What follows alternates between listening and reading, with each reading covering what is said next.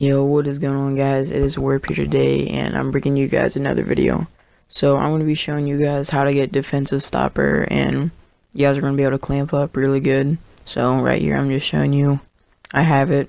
it's actually not even that hard and this is going to be for stretch bigs.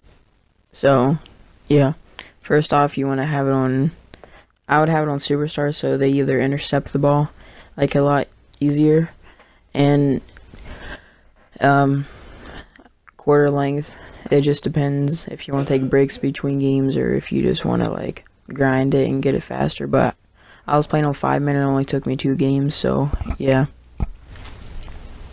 So let's get right into it. So what you want to do is you want to get the ball, and for me, since I'm a stretch big, I just as soon as I pass the half court line or like behind of it, I just double tap Y and throw a lob, and throws them right to it, and I got good transition defense that's what you want. You want good transition defenses and uh, good shot defense. So yeah, just well, this one this is for like playmakers and stuff if you're really fast. But yeah, that's how you do it if you're a playmaker. Just run backwards and double tap Y, and you'll just throw it across the half court. But uh, here's me doing it again. Throw it, hit that dude in the head.